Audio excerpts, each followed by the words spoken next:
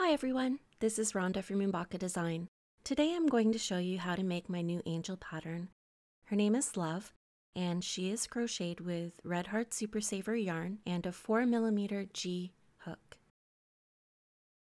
To begin, you need to make a double magic ring, or you can make a chain 3 and slip stitch to join to make a loop.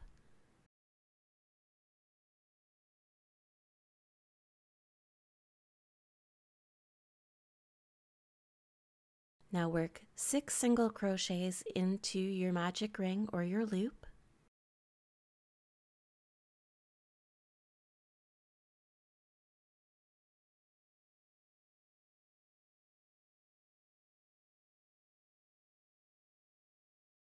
Once you've completed your six single crochet stitches, you can close your ring When you pull on the yarn end, you'll see which end of the loop moves. Pull the opposite end of that first loop. It will close the first ring.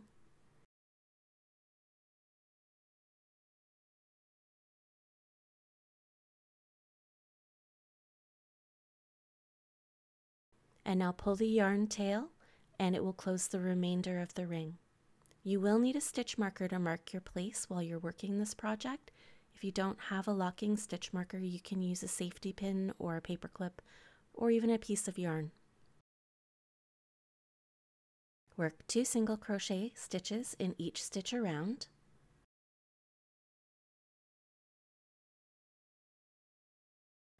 Place your stitch marker in the first stitch that you work to mark your place, and then continue around the ring.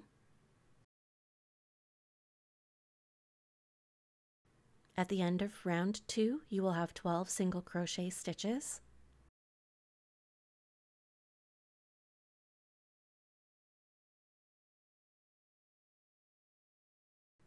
For round three, work two single crochet stitches in the first stitch,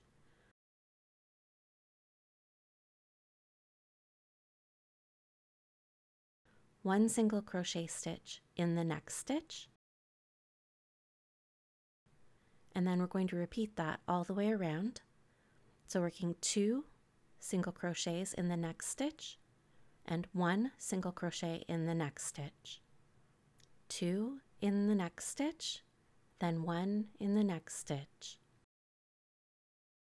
At the end of round three, you will have 18 single crochet stitches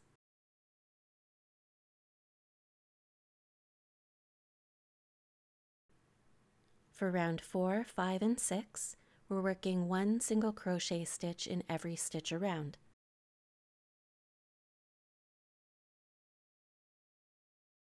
At the end of round 4, 5, and 6, you will have 18 single crochet stitches.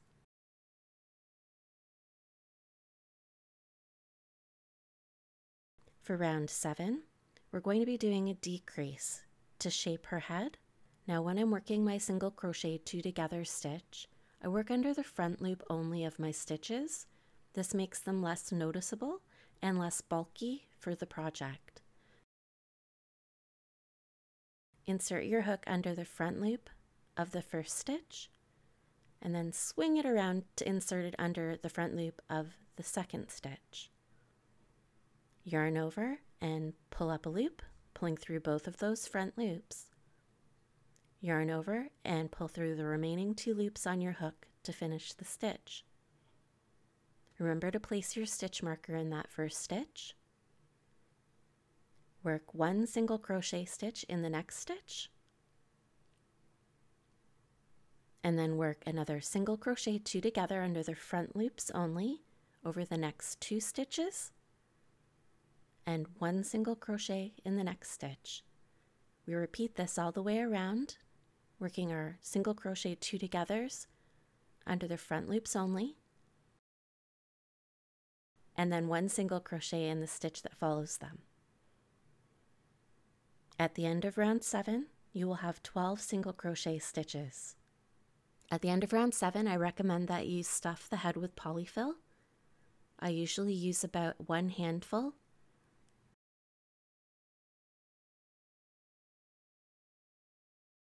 Don't overstuff it though, because if you overstuff it, you'll really see the spaces between the stitches that you've worked.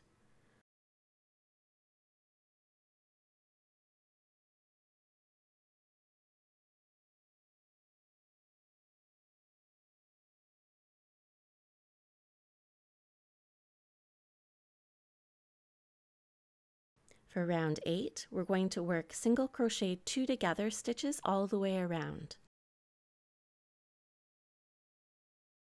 So we do work these under the front loops only, just like we did in round 7. So you insert your hook under the front loop of each of the next two stitches, yarn over, pull up a loop, pulling through both the front loops, yarn over, and pull through the remaining two loops on your hook. Work single crochet two togethers all the way around and after you finish this round you will have six single crochet stitches. For round 9 work one front post single crochet in each stitch around.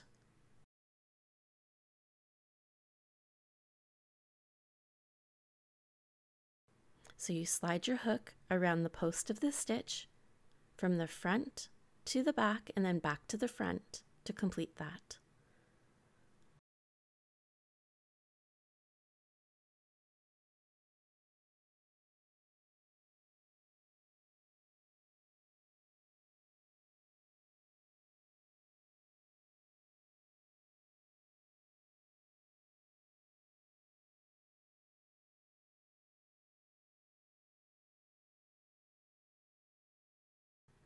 At the end of round 9, you will have 6 front post single crochet stitches.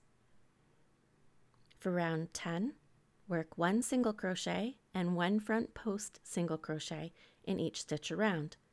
This means you're going to be working 2 stitches in each stitch. So work your single crochet stitch and remember that the loops of your stitch that you're looking at are to the right of the post. So if you're looking at the stitch, if you're right-handed, you'll see the two loops of this stitch, the little V at the top of this stitch, will fall to the right of the post of the stitch. If you're working on this from the left hand side, you will see the post to the right of the stitch. So you will see the two loops on the left hand side and then you will see the post. For the right hand side version, Work your one single crochet and one front post single crochet in each stitch around. At the end of round 10, you will have six single crochet stitches and six front post single crochet stitches. For round 11, work one single crochet in the first stitch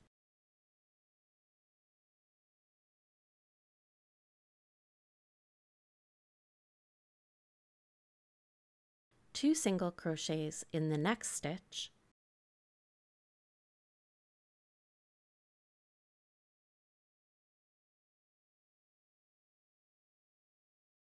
One single crochet in each of the next five stitches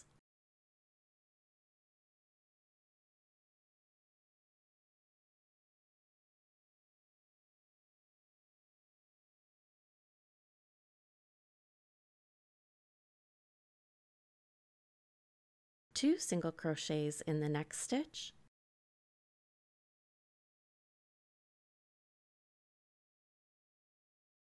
and one single crochet stitch in each of the next four stitches.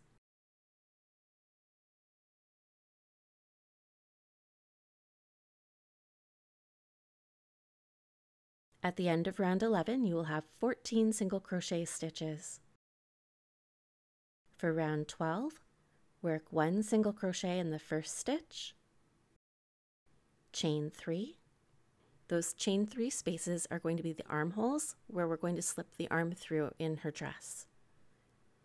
Skip the next two stitches, work one single crochet in each of the next five stitches,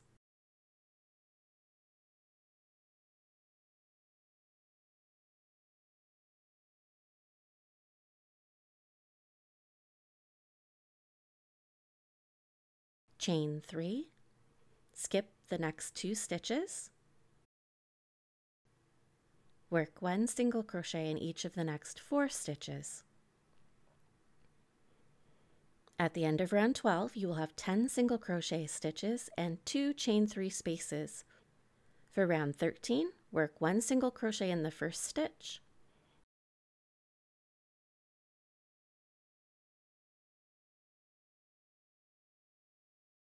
one single crochet in the back loop of each of the next three chains,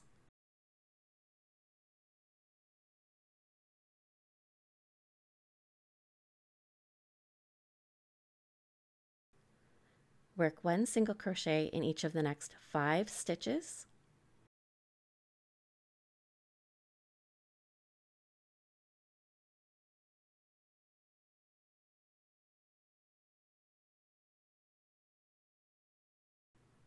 One single crochet in the back loop of each of the next three chains.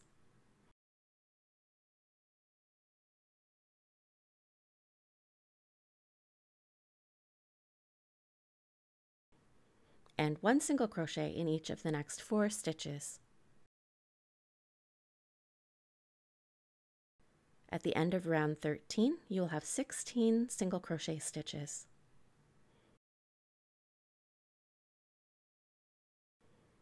For round 14, work two single crochet stitches in the next stitch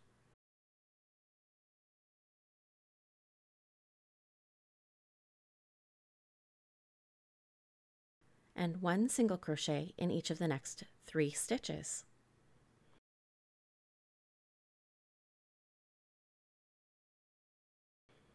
You're going to repeat that all the way around until you have four stitches remaining. So working two single crochets in the first stitch and then one single crochet in each of the next three stitches.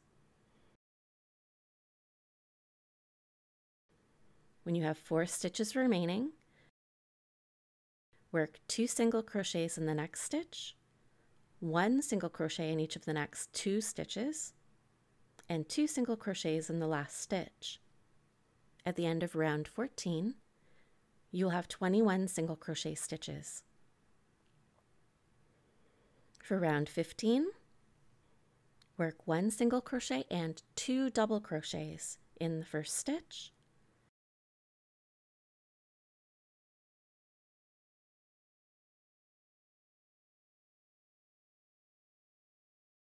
skip two stitches and then we're going to repeat this working one single crochet and two double crochets in the next stitch and then skipping the next two stitches. So every stitch that we are working contains three stitches, one single crochet and two double crochets. And between each set of those three stitches, you have two stitches that you don't work into. So repeat this, working one single crochet and two double crochets in the next stitch, skipping the next two stitches, and then one single crochet and two double crochets in the next stitch. Work this all the way around.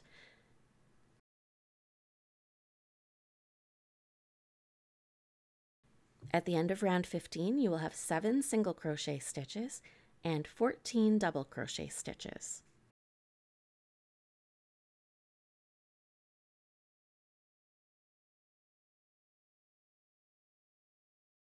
For round 16, work one single crochet in the next stitch,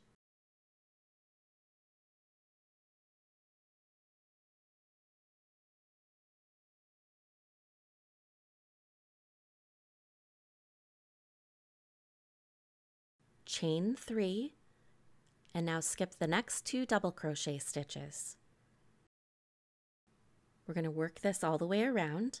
We're working one single crochet in the single crochet stitch, chaining three, and then skipping the next two double crochet stitches. Crochet this all the way around. At the end of round 16, you will have seven single crochet stitches and seven chain three spaces. For round 17, work one single crochet and three double crochets in the first stitch. That'll be your single crochet stitch that you're working those into. skip the chain three space, and then in the next single crochet work one single crochet stitch and three double crochet stitches.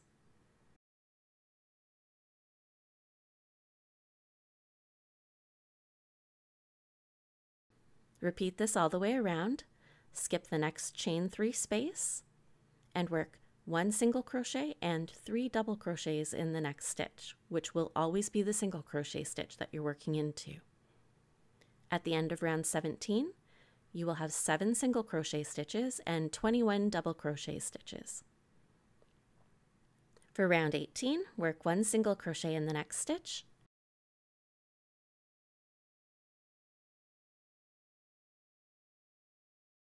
chain 4, and skip the next 3 double crochet stitches.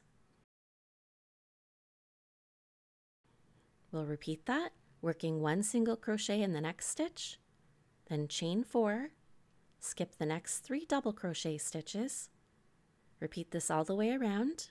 At the end of round 18, you will have 7 single crochet stitches and 7 chain 4 spaces.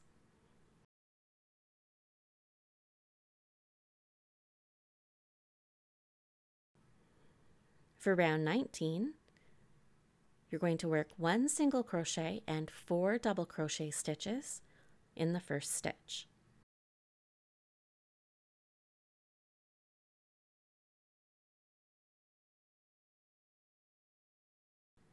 You're going to skip the next chain four space and in the next single crochet work one single crochet stitch and four double crochet stitches.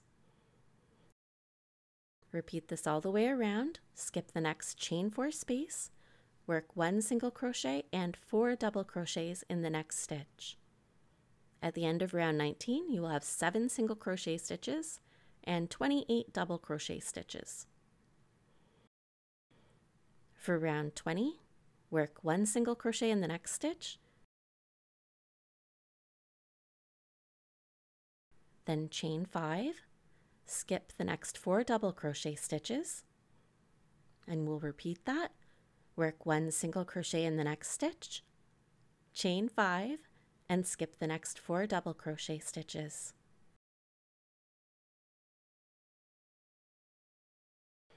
Repeat this all the way around.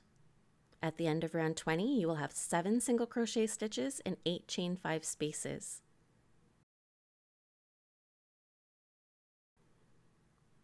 For round 21, work one single crochet and five double crochets in the first stitch.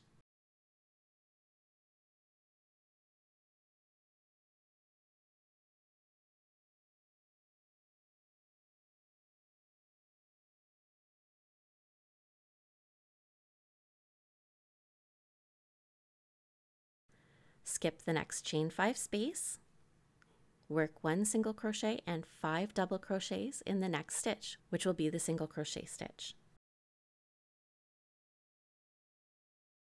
Repeat this all the way around, skipping the next chain five space and then working one single crochet and five double crochets in the next stitch. At the end of round 21, you will have seven single crochet stitches and 35 double crochet stitches.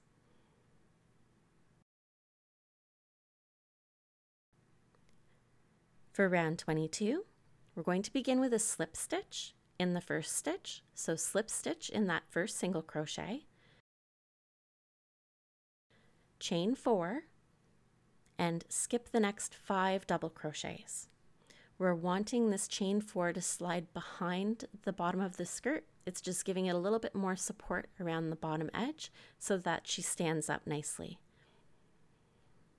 Okay, so then we're going to repeat that, slip stitch into the next single crochet stitch, chain four, and skip the next five double crochets.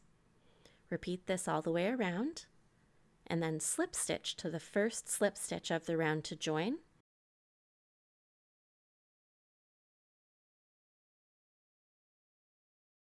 So finish off, and you can weave in your end now, or you can leave it to the end and weave your ends in all at once together.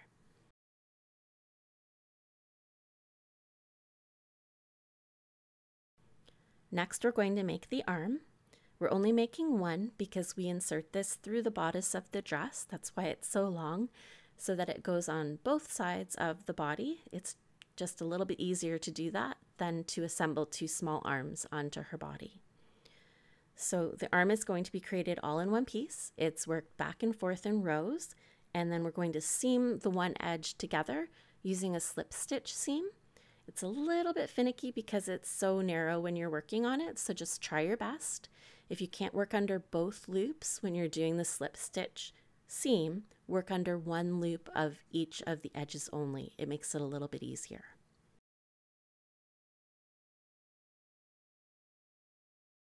So for row 1, chain 21,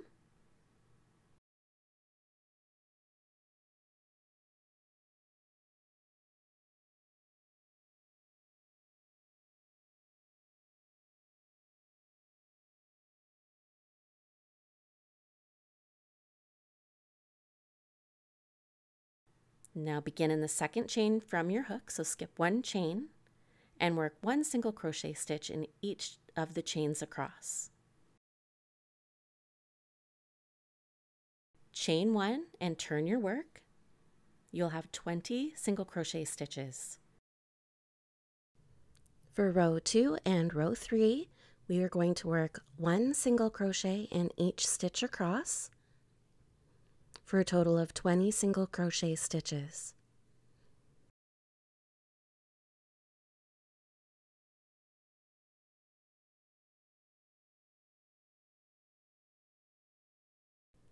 At the end of row 3, we're going to fold the rectangle in half along row 2 and then seam the long edges together using a slip stitch seam.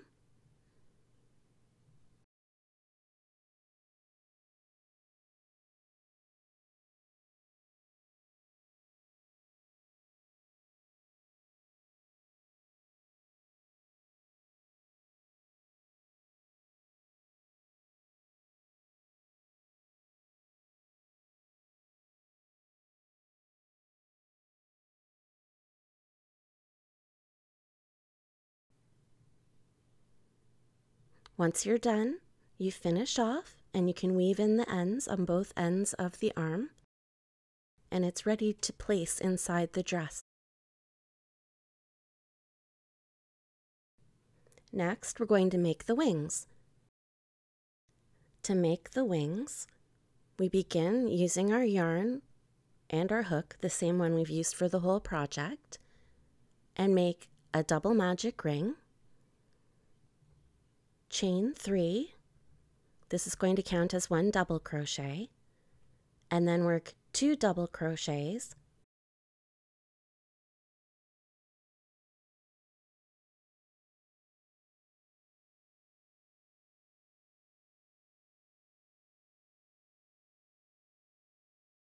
Chain two.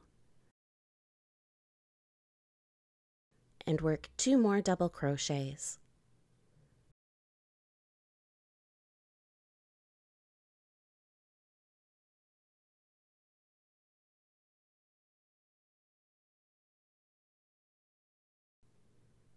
Tighten the ring to close the work, and then turn your work.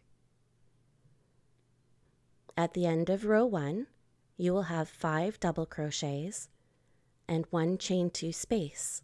For row 2, chain 4, this is going to count as 1 treble crochet or triple crochet stitch and work 2 more treble crochets in the first stitch.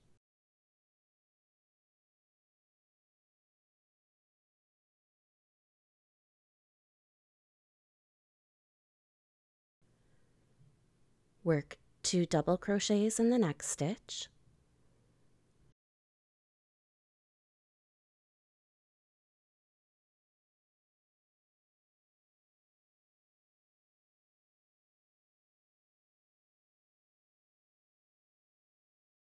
Three half double crochets in the chain two space.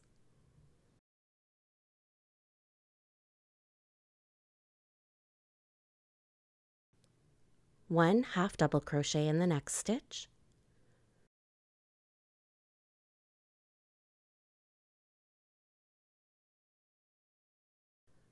one slip stitch in each of the next two stitches.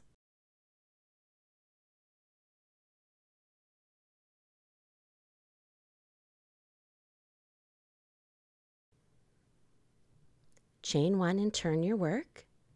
At the end of row two, you have three treble crochets, two double crochets, four half double crochet stitches, and two slip stitches.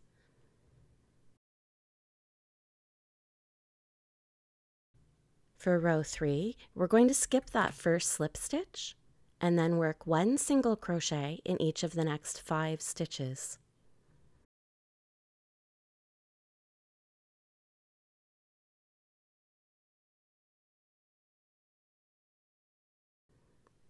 Work one half double crochet in the next stitch, one double crochet in each of the next two stitches,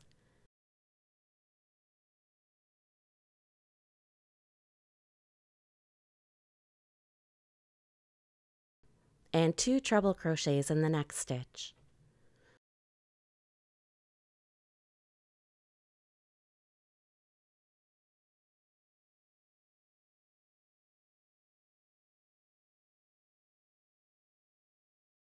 And in the next stitch, work two treble crochets and one double treble crochet.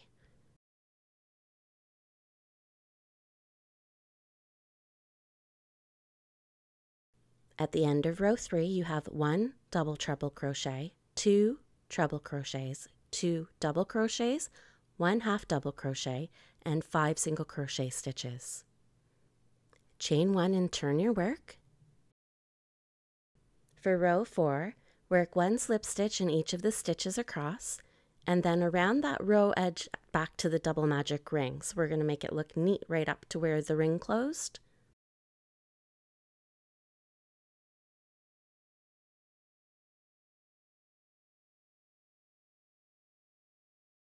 It'll take about 15 slip stitches to get back to that spot. You may have a few less or a few more depending on how many slip stitches you work in that back row edge section. Leave a little bit of a yarn tail here so that you can assemble the angel's wings to her dress. You can sew the shorter end in and weave in your ends for the first bit. Now make a second wing. Next, we're going to make the halo. The halo that I make, I use Bowdabra bow wire, and I use a 2.25 millimeter hook. That's a B hook. Create a slip knot and place your hook into the loop. Tighten the loop to close it, and then we're just going to chain 20 stitches. So chain 20 stitches, I don't pull to tighten after each chain, I just let them stay the same size as the hook. After you've chained your 20 stitches, you're going to finish off. To create the halo loop, you will thread that through the seventh chain from the opposite end, so from the beginning of your chain row. And now I just take that end and I wrap it around the rest of the chain to make it a little more sturdy trim up the ends, and thread it through the back of her head to make the halo.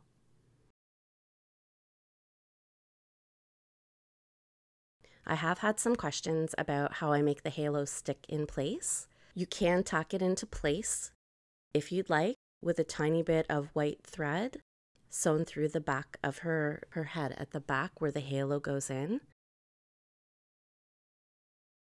Or add a little bit of fabric glue to the end after it's been thread through her head and then gently pull it back inside and then push the fabric of the head together to catch on that little tiny bit of glue.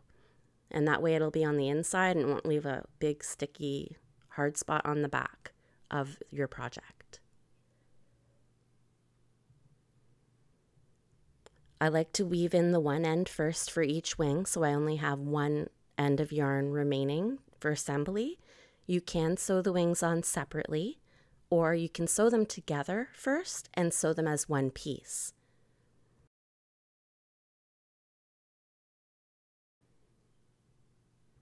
And then for assembly, we work it by placing the wings mid-back. I only attach them at the top because we want the bottom of the wing to hang freely. You can put them a little bit further apart. You can put them touching. It's totally up to you. For the arm, if you'd like to tack it in place on the inside, you can flip her skirt up and then use a yarn end to weave a little bit of white thread on the inside to hold the arm in position. I personally just slide mine through and leave it the way it is.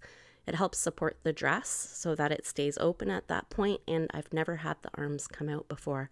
But if you're giving it to a child, I'm sure you would like to tack that in place.